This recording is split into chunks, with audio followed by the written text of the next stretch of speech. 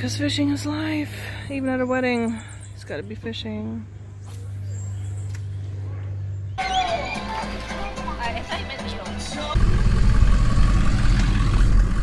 We're here. We're at the Beast.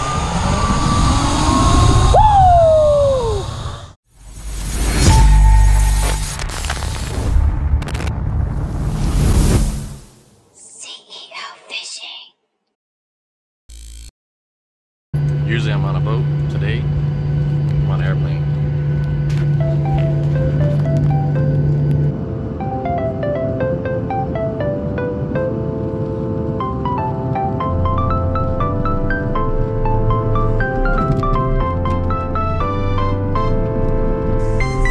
Alright guys, we officially landed in Puerto Rico, Despacito land. So uh, it's time to go rent a car and uh, get to the Airbnb so I can uh, figure out how I can convince my girlfriend to let me go fishing. Oh, fiance, my bad. All right, so we took an early flight from Miami to Puerto Rico. We finally got our rent a car, and uh, I'm here with my resident Puerto Rican Giselle. Hola. Hola. There's three things I always try and eat when I come to Puerto Rico. Excuse me, Wiz. There's three things I always try and eat when I'm in Puerto Rico. For breakfast, I need some Mallorca. For dinner, I need some mofongo, mo, mofongo Mofongo. de, de churrasco. Where is Pinky's at? What's that place area called? Condado. Condado? Condado. Oh, in in Condado. Turn left. Stop talking when I'm trying to talk. There's a restaurant called Pinky's, and they've got a breakfast there that I've I crave it. So every time I go, I gotta hit Pinky's and Condado. Stop making left. noises. And then turn left. Every exit has salad places. All right, so I'm gonna go fishing tomorrow. Got me a cheap rod here, Shakespeare, and yeah, I got some supplies, a Yo-Zuri, some DOA lures. See if we can get on some fish tomorrow. I'm excited. You know you're in Puerto Rico when you got a big Bad Bunny billboard on the side of a wall. You know, considering that I'm Asian, my eyes are drawn straight to the egg rolls. Sure would be nice to go fishing. All right, so we bought tickets for the ferry in Ceiba to go to Culebra. That's where I was gonna fish. There's bonefish, there's snook, there's tarpon, there's all kinds of fish out there. Barracuda, I don't care what I was gonna catch. I wanted to catch some fish. There's some old army tanks that are out on the on the beaches and stuff. So it was gonna be just really cool to be out there. But we bought tickets for a 10:30 time slot. They let anybody on who was just standing there, even though other people bought three o'clock time slots, they let them on and told us we weren't able to go. Be careful when you go there because I don't want you guys to lose your money or just waste time basically because we were there for several hours. So if I'm lucky enough to find a spot where I can fish, I will, but there's no guarantee that I'm gonna catch anything because you know these spots are just like pull over on the side of the road, there's a beach, just check it out. That's the story behind this. So if I get a fish, I get a fish. If not, if not, it's still awesome being here in Puerto Rico. I love it here and uh, I can't wait to get some mofongo on my stomach. Now driving here, I could tell that this place was definitely ravaged by the uh, the hurricanes. There's still a lot of damage, a lot of empty buildings. I mean, there has been, but there's some really messed up buildings here that you can just tell that it, they you can't fix them. Got my cheap rod, got some DOAs. See what happens. I have no idea where I'm at or what I'm actually doing here. I'm trying to walk through. I got flip-flops on. Now this is pretty cool. Found this little little area here. I have no idea if there's gonna be any fish here.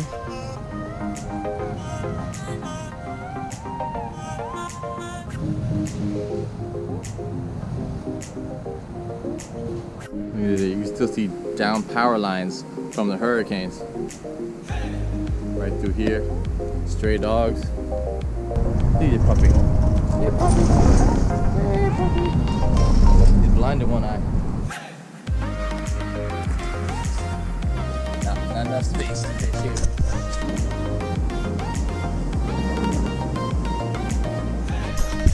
De nada.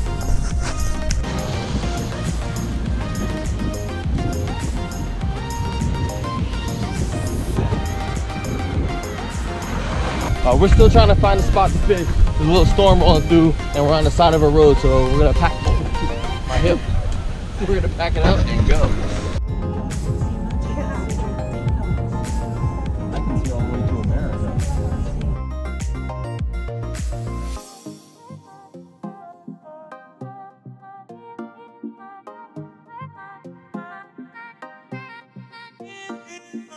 So after winding through the mountains for about 45 minutes from that last location, um, we've reached a place called Punta Tuna. And uh, the gates are closed, but the fence is down. So, you know, for an angler like me, that doesn't mean a thing. That means walk in and go fishing. See if I can get over to the edge of this cliff. I don't know if I'm gonna go fishing. That's uh, like a 100, 150 yard drop. Wow.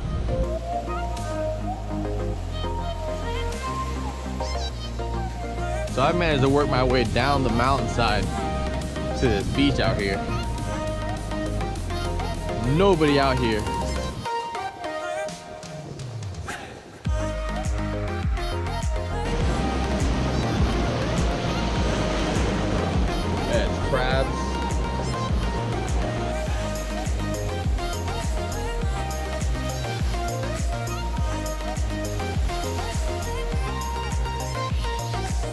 All right, so day one is over. I didn't get a fish, unfortunately. The plan was to go to Culebra and fish there. That was gonna be my time to fish. So basically, I'm just carrying a rod around the island with us, um, just testing out anywhere that there's water as we're going sightseeing and stuff. You know, let's see. Maybe I'll have better luck tomorrow. This is what life is about. Coffee. Espresso out of a machine. Yes. It's good espresso too. Look at that foam. Cause fishing is life. Even at a wedding, it's gotta be fishing.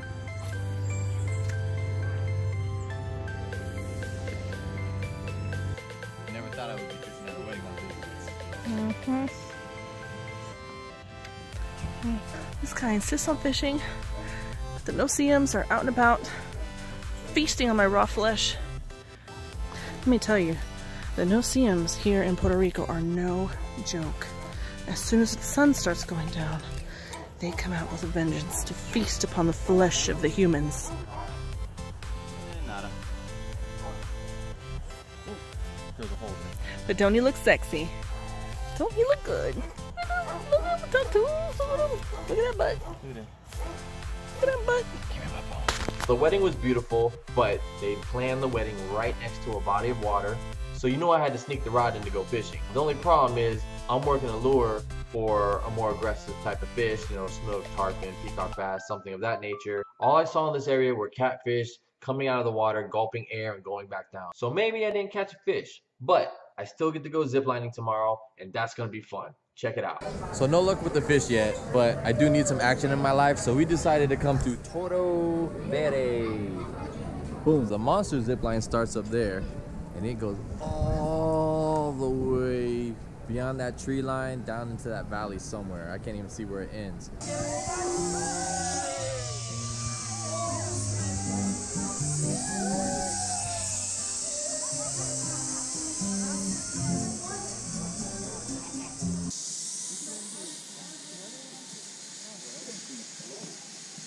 I'm not able to do that one today. It was already booked up. So we are gonna hit the beast and uh, I'm gonna mount a GoPro on and just show you exactly what I get to see. All right, so we're on a trolley, or back of the truck. Headed down. Couple little speed bumps on the way, you know. You got that old people insurance? We're here, we're at the beast.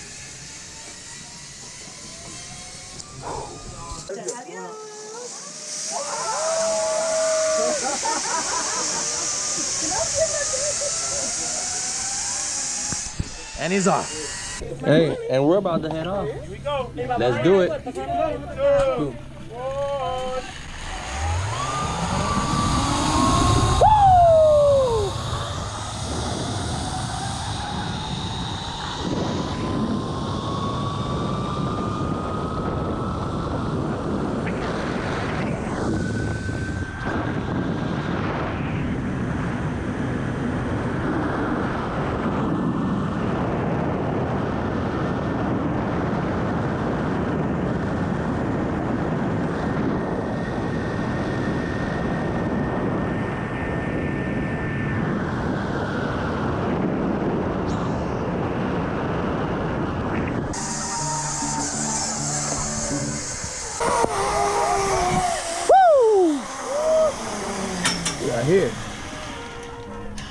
Cool.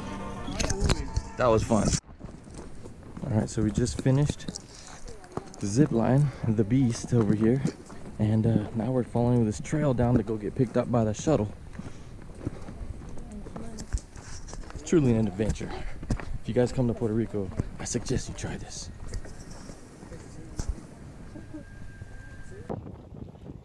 So Waze took us to the mountain, through it, right through the middle of a jungle.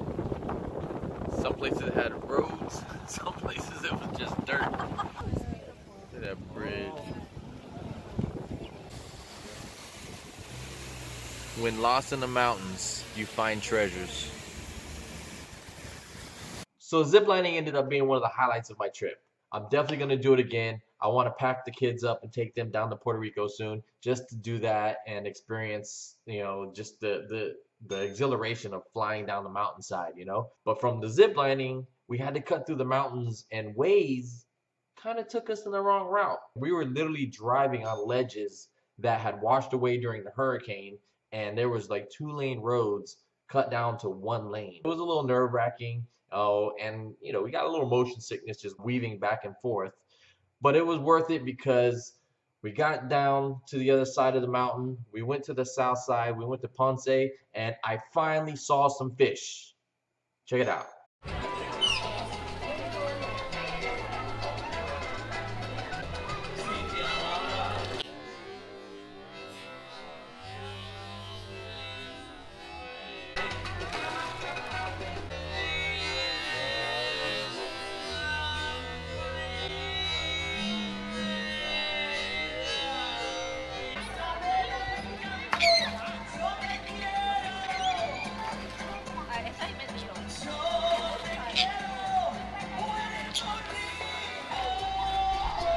All right, guys. So I didn't get my fish on this trip, but it was still an amazing trip. I got to see some tarpon. I now know some spots and locations after the fact that I can go fish. So best believe I'm gonna book a trip down there again to take my kids on the zip lines and to go fishing.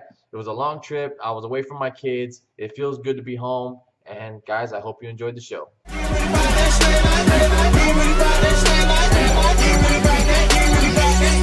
Slay with a passion, they say I be swagging and slaying in fashion. Feel like King Arthur, I just slay the dragon. My jig on the bottom, I ain't even snagging. Slay like a savage, from slicking the best.